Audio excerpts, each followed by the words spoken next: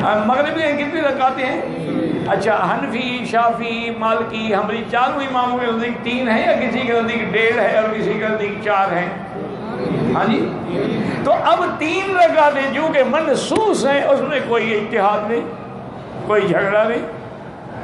अब इख्तलाफ किसमें है? भी आमीन, ज़ोर से कहो या आहिस्ता कहो, क्योंकि हदीस में ज़ोर से भी मौजूद है आहिस्ता भी मौजूद है।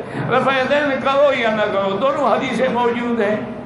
तो वहाँ तो इजतिहाद होता है जो मसले में नस ना हो। जब नस हो तो वहाँ इतिहाद की ज़रूरत ही नहीं होती।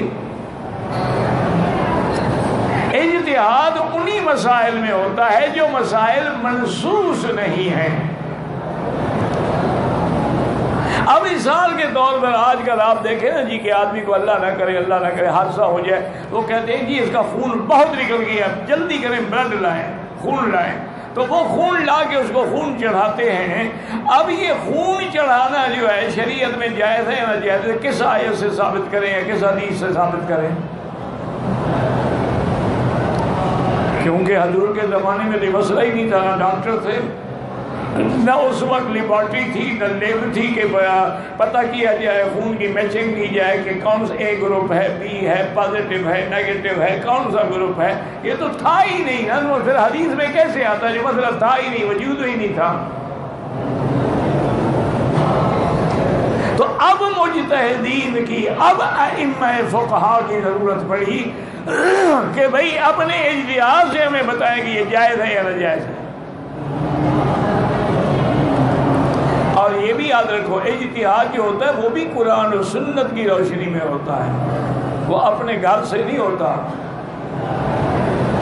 वो कुरान और सुन्नत की रोशनी में होता है। उन्होंने इस्तदलाल किया, उन्होंने कहा, देखें जी, अगर एक आदमी का बच्चा हो और बच्चे की माँ दूध पिलाने के काबिल न हो तो दूसरी औरत दूध पिला सकती है? उन्होंने कहा हाँ जी, बिल्कुल पिला सकती है। तो कुरान का मसला है। कि या वालदात पिलाएँ या उसके अलावा कोई और औरत पिलाए। वाल वालदात औलाद हन्ना औलैन कामिल ये तो कुरान में है, पिला सकती है। और फिर खुद हजूर बाग ने बीबी हलीमा का दूध पिया है। बीबी हलीमा आपकी माँ तो नहीं है, आपकी वालदा तो आमिना है। तो माना ये हुआ कि दूसरी औरत का दूध पीना बच्चे के लिए जायज़ है। उन्होंने कहा, जी जब दूध पीना जायज़ है, यही दूध तो जाके खून बनता है। इसका मतलब है कि फिर खून लगाना भी जायज़ है। ये होता है इतिहाद वो भी कुरान और सुन्नत की रोशनी में होता है। अगर कुरान और सुन्नत की रोशनी ना हो तो फिर तो मसला हल ही नहीं हो सकता है।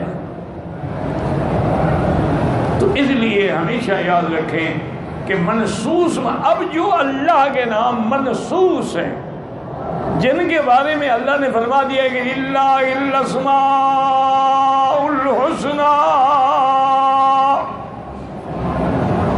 और मेरे मदी बाग ने फरमा दिया अल्लाह के निरनवे नाम है तो जब नाम तो भी हैं, हम न बढ़ा सकते हैं, न घटा सकते हैं।